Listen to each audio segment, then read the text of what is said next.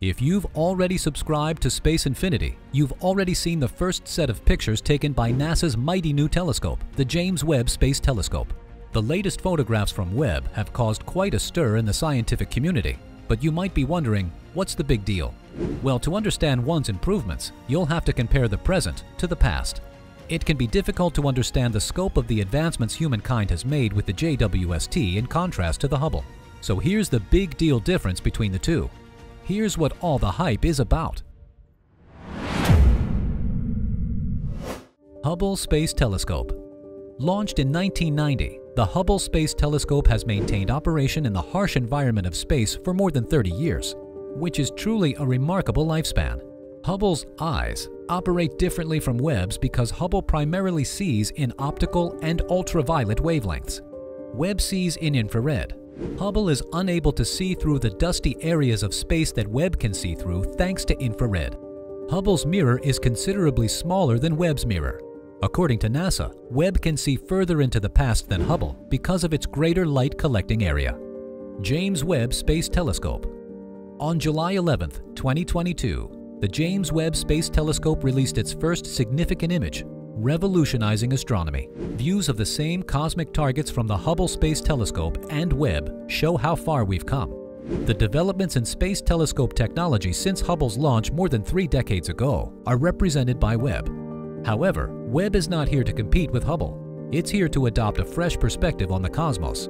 This is how the primary mirror of the James Webb Space Telescope appeared during a test deployment in March 2020. There aren't any stunning images of Webb in orbit. This selfie in the mirror will have to do. The telescope uses a set of gold-plated hexagonal mirrors to view the universe in infrared light and is the focus of debate over its nomenclature.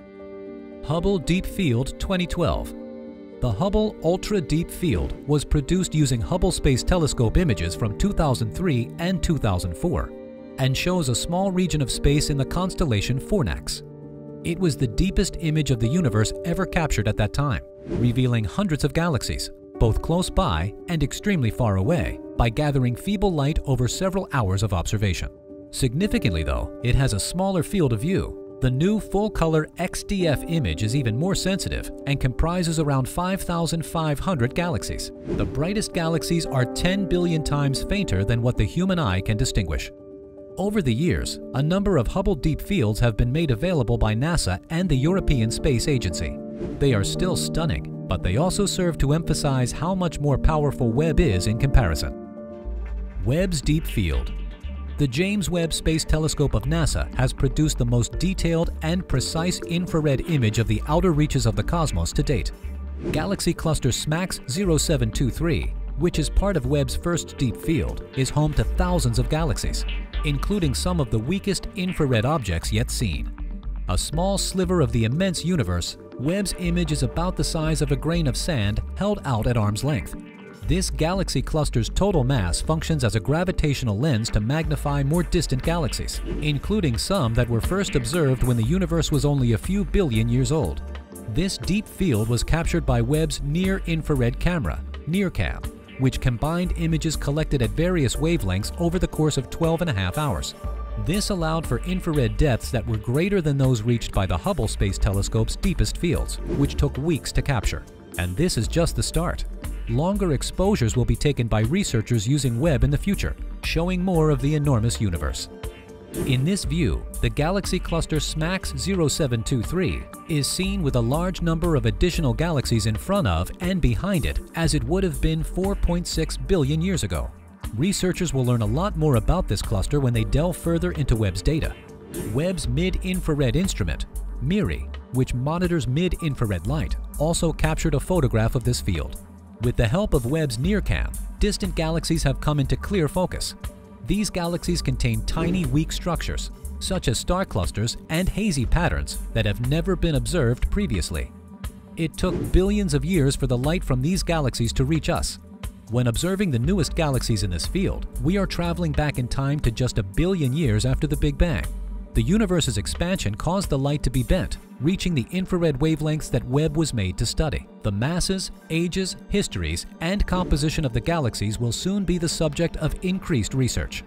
The prominent arcs in this field are another highlight. Similar to how a magnifying glass warps and bends images. A galaxy's strong gravitational field has the ability to bend light beams from farther away galaxies that are behind it. As stars look brighter at shorter wavelengths, they are also recorded with noticeable diffraction spikes. Where the dust is, which is a key component of star formation and ultimately life itself, Webb's MIRI image shows a kaleidoscope of hues and highlights.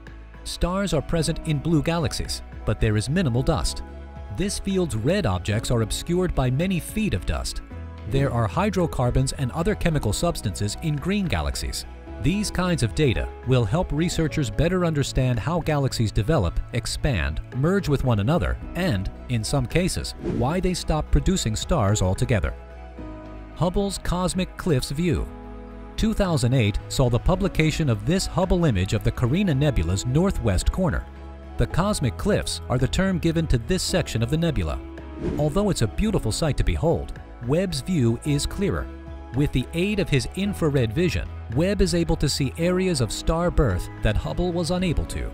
The photo, which was taken in visible light, reveals the three light-year-long pillar's apex, which is illuminated by hot, huge stars off the top of the photo. The pillar is being shaped by these stars' scorching radiation and swift winds, which are also driving new stars to form inside of it. The top of the structure is seen to be emitting streams of gas and dust. From July 24th to the 30th, 2009, Hubble's Wide Field Camera 3 captured images of the Carina Nebula. WFC-3 was mounted on Hubble during Servicing Mission 4 in May 2009 filters that isolate emission from iron, magnesium, oxygen, hydrogen, and sulfur were used to create this composite image. The Hubble Servicing Mission 4 early release views include these observations of the Carina Nebula. Webb snaps Carina Nebula's cosmic cliffs. The border of the neighboring young star-forming area NGC 3324 in the Carina Nebula may be seen as mountains and valleys, which is dotted with sparkling stars. The image, which was taken by NASA's brand new James Webb Space Telescope in infrared light, for the first time makes visible previously hidden zones of star birth. The cosmic cliffs, a supposedly three-dimensional image by Webb, shows what appear to be rocky mountains at night under the moonlight.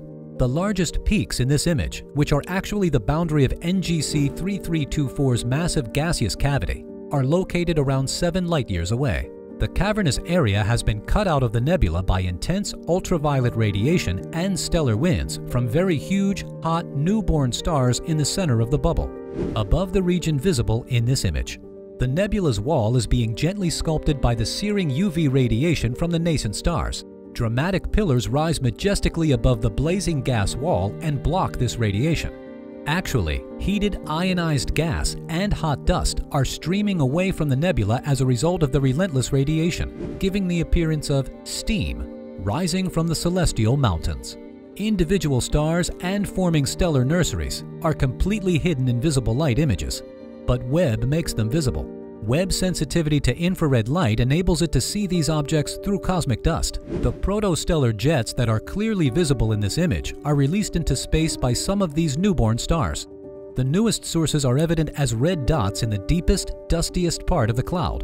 The earliest and quickest stages of star formation are difficult to see, but Webb's remarkable sensitivity, spatial resolution, and imaging capabilities can capture these elusive events. The star formation process will be clarified by these observations of NGC 3324. Star birth spreads throughout time as a result of the cavity's erosion expanding. The bright ionized rim steadily pushes into the gas and dust of the nebula. The increasing pressure will cause any unstable material that the rim comes in contact with to collapse and create new stars. Throughout the years, we have grown accustomed to viewing breathtaking photographs of the universe, and at first glance, these new ones may not appear to be all that different. The technological advancements are not immediately apparent until they are placed side by side with pre-existing photos. What are your thoughts on the differences of the Webb telescope and the Hubble telescope? Let us know what you think in the comments. After you've smacked that like button, head to the Space Infinity archive or click on this video right now.